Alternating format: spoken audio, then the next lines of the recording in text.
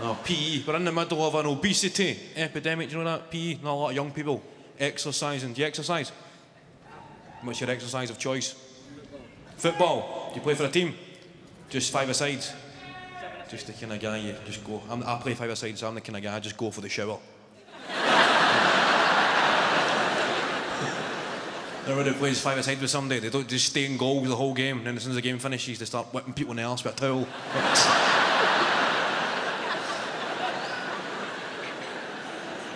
Now, we're in the middle of an obesity epidemic. I don't know if I've got any fat people in the room. Have we got any fat people in? I'm a little bit, a little bit rotund myself. I don't mean I'm fat. I'm give, my, give myself chubby. I'm not, I'm not documentary fat. Never going to turn on Channel 4 on a Tuesday night and see a guy like me tonight. We meet the 14 stone man. that looks disgusting. Anybody watch that 14 stone man last night? Shocking. Showed you this guy. He couldn't even do 20 minutes on the treadmill. It was. It showed you the guy having his dinner. He, he had a gammon steak and oven chips, and then, then he had five Jaffa cakes and a penguin. 14 stone. So on again next week, the guy's shocking. Because people have got flawed perceptions of their size, and it works in a few different ways. I'll use women as an example here. You know, you get girls who are skinny, they think they're a bit chubby.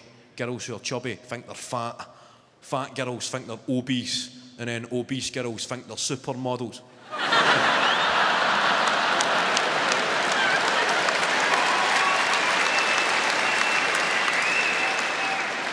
They're the happy people. They're the ones hanging out of limousines on a Friday night. Going, "Ah!" The driver's going, Can you lean in, please? You're going to fucking tip this thing.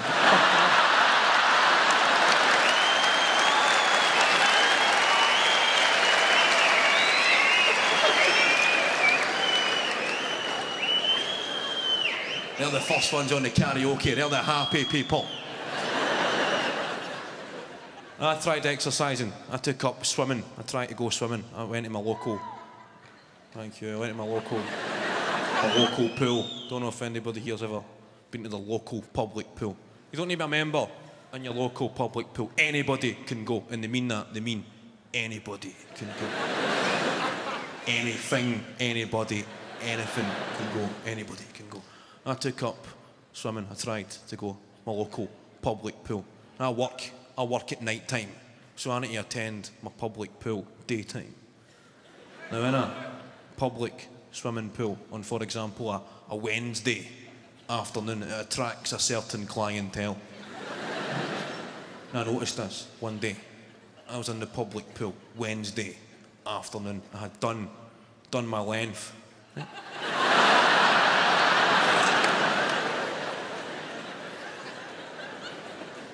Then I stopped because I was fucked. but I made it look cool. That way you put your elbows up on the tiles.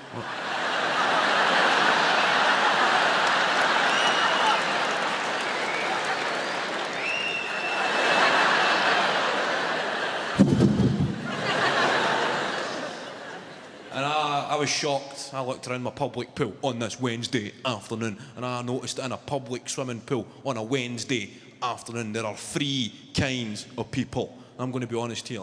Three kind, bit of, uh, bit of honesty here. Three kinds of people in a public pool on a Wednesday afternoon. I've seen toddlers, right? Toddlers. Paedophile.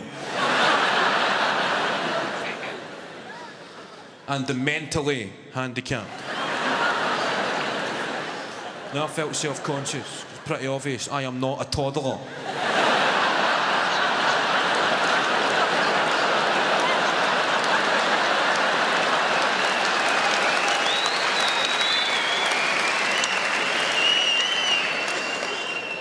comes a point in life you need to start making decisions. you need to think fast. You need to start taking your swimming gear down inside a farm foods bag to show you're not a pedo, you're just a bit mental.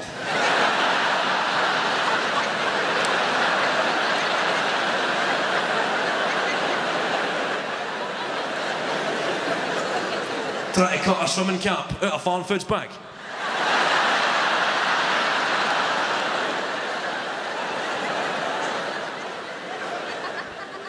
Because everybody that carries a Farm Foods bag has got a screw loose, and that is the. don't mean mentally handicapped, just a bit mad, right? That is the universal sign for do not approach me, the Farm Foods bag.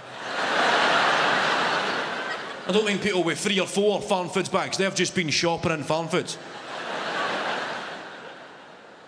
It's that one single, solitary, slightly faded. this is my Farm Foods bag. Are many others like it, but this one is. I seen a guy with an inside out Farm Foods bag. That is a statement of intent, isn't it? An inside out Farm Foods bag. That's how I've got an obesity epidemic. Don't have the, the facilities. That's how got an obesity epidemic. If, you're a bit, if you've got a bit of waist as well, you know, it means you need to shop in shitholes. You know, you walk in somewhere trendy, like Top Shop for a pair of jeans.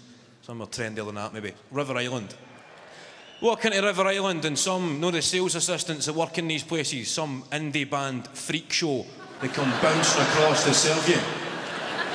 Look at that kind of, hey man, yeah, woo. telling you to chillax.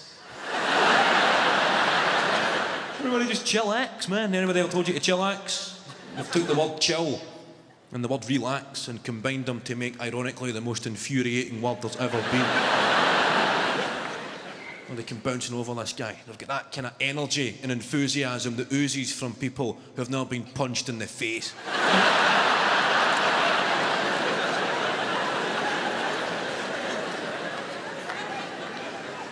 But you require this guy's assistance.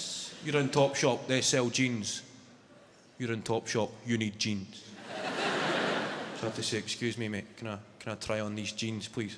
And a 36 inch waist. And his enthusiasm.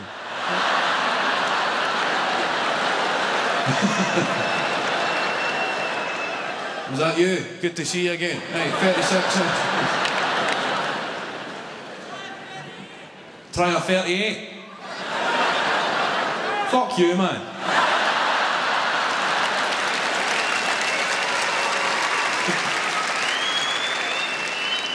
Ask the guy, try a jeans on, and a 38 inch waist. Good call, right?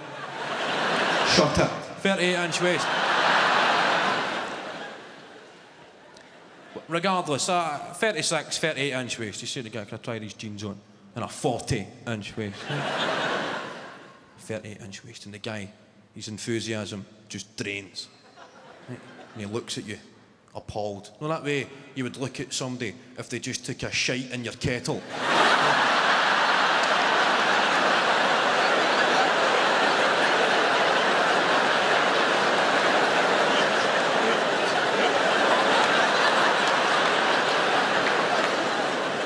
Imagine somebody took a shite in your kettle, you'd be furious, wouldn't you? It's a social faux pas.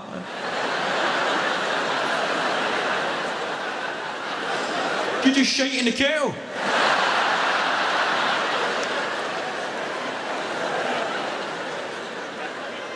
I don't come to your house and shite in your kettle. You've changed, man.